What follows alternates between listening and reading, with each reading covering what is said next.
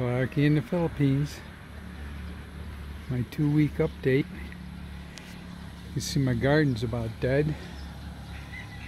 This is Friday the 13th of May and we're in full swing of dry season here. And it's really hot. It's the index of 103 to 105 almost every day. See my garden out there pretty much dead. I had sunscreening on it too. It didn't help. So I took that sunscreen and I made covers for my plants so they don't cook in the sun. Remember last time I cut the tops of these off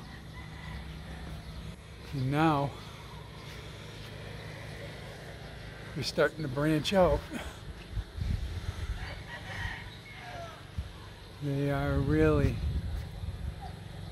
growing well.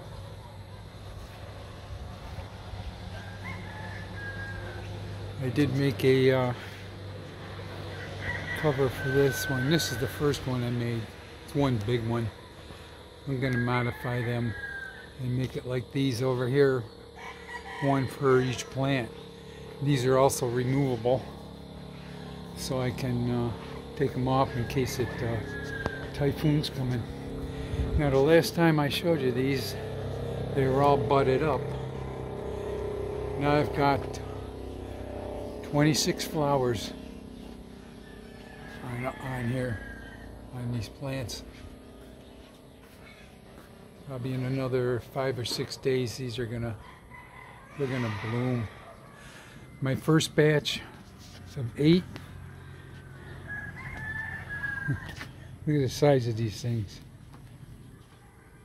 They're starting to turn red. They're gonna be uh, ready to harvest soon. Here's a really big one right here.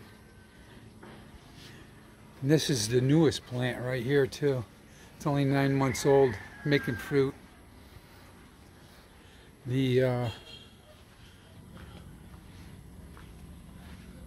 other one has blossoms all over. They all have flowers on them.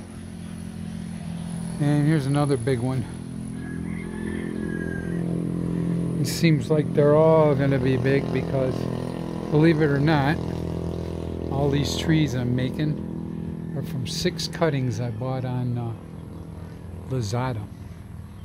And they're really good cuttings because they're making great fruit. So hopefully they all will be growing fruit like that. So that's about it for this update. I'll uh, post a sh short video next week when those blossom and uh, flower. Uh, that's it for this update. Check back in two weeks.